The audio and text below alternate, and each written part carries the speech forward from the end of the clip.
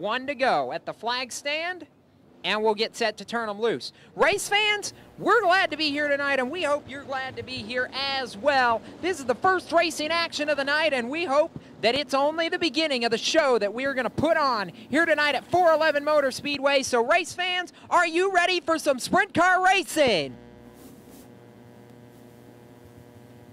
Get set because we're going to rhyme this field into turn number three. Eric Riggins on point, Terry Gray, Morgan Turpin, Johnny Bridges, green flag in the air. We are racing the Hoosier Speed Dash is green.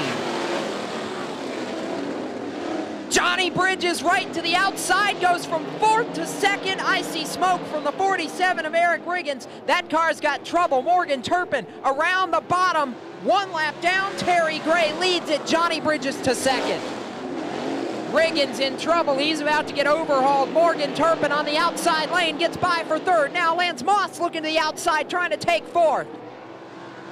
Bridges losing time. Terry Gray, the Bartlett Bullet, out in front, two laps down. Gray by 10 car lengths over Johnny Bridges.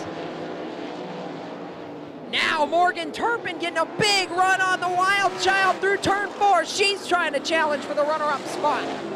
Turpin, the teammate to Terry Gray, trying to put pressure on Bridges. Three laps down, three to go. Terry Gray is gone in a hurry. That 10 car looks good so far here tonight. He was fast in hot laps, he's proven it. This time by Terry Gray. Oh, and we got trouble. Brandon McLean in turn four goes around caution.